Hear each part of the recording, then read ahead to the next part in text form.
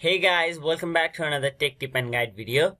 Today, I have a phone that's not turning on. When I try to turn it on, it shows red battery screen and even if I try to charge it also, it won't turn on. So, in this video, I'll show you how you can fix this problem at home without spending any money or going to any repair stores. So, let's begin. So, for this process, you need a hairdryer that blows out hot air and just that. You don't need anything else or have to buy any other repairing equipment. All you need is a hair dryer.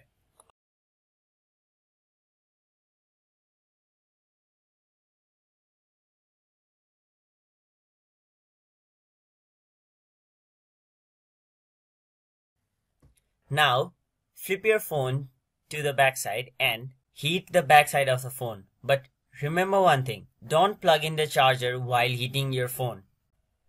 Now, heat your phone for about 2 to 3 minutes and keep moving the hair dryer around the area where the battery is placed. Another thing is that keep checking your phone if it is too hot and if it is too hot, you don't need to heat your phone anymore.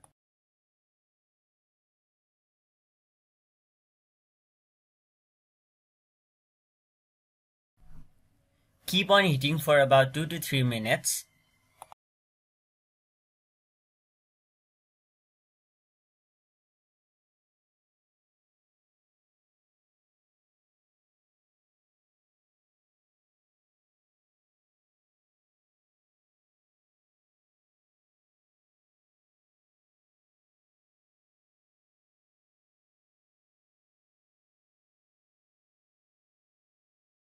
And now, after you've heated your phone for about 2 to 3 minutes, plug in the charger and your phone should now turn on. But in any case, if your phone didn't turn on, leave the phone in charge for about 5 minutes and try turning on the phone again and it should definitely turn on.